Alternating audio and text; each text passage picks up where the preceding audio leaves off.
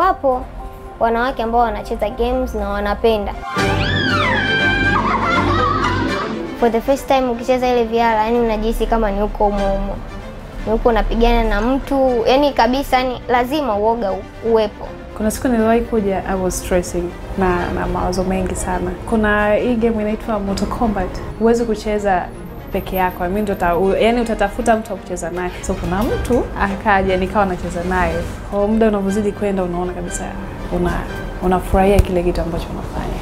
Nilikuwa nimeshawishiwa na my friend anapenda sana games, so there was this one day nilikuwa I was bored actually, akawa ameniambia kwamba tuje kucheza games hapa, then we came. Actually mimi sio mpenzi sana wa games, but that day I had so much fun. Sisi ni wasichana wa Kitanzania, tunapenda games. Ni kitu ambacho ninakipenda, unahitaji ufanye kila wakati, kila mara. Mwanzoni kuna rafiki zangu walikuwa wananiambia gaming, so naenda kucheza basketi, mpira ile mpira ya miguu mechi mechi. Nikamwambia no, kuna vitu vingine. Then nika nika nikawaleta. Sasa hivi wamekuwa wana, wanakuja kupita mimi.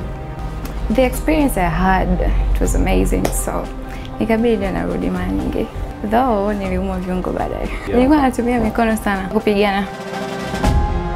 Games wanakuwepo sana boys. Yule mwanamke atakuwa anaenda kufuata anaenda kufuata wanaume tu, ile aende kucheza, unamfikiria for bad attitude, lakini hayuko hivyo. Kila mtu anakuwa na mawazo, kila mtu anakuwa na wakati mgumu, kila mtu anakuwa na wakati wa kurelax, wa kuenjoy. Kwa hata gaming haijaandikwa mahali kwamba ni wanaume au wanawake, kama ilivyo DJing. Mimi honestly ni kufurahi, yeah, and chilling friends. Natamani ifike stage nacheza game nijulikane, of course nionekane gamer yule, yani amna mtu ambaye anaweza akamshinda. Why man knows? Kwa nini sisi tusijue? Girls we can. unavaa uhalisia kama wewe ndo unayecheza hiyo game huko ndani ya game. Ndio maana watu wengi sana wanakuwa wanapenda, watu wanakuwa wanashtuka, wengine wanakuwa wanadondoka kabisa.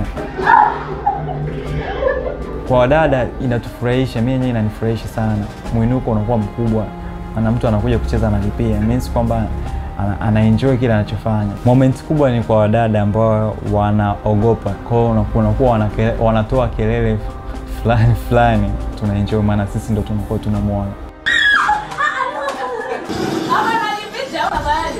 Ilikuwa ni mteja kuharibu vifaa kwa ajili ya kuogopa, alitupa vifaa chini akakimbia. Ile moment kwetu ni mbaya na pia kwa mteja ni mbaya, maana hakuwahi kujaribu vifaa, so ilibidi tumkimbie kwanza mteja tumkamate, then huku nyuma vifaa navyo vilikuwa vimeharibika, so ili, sisi ilibidi tena tuingie kosi kutengeneza vifaa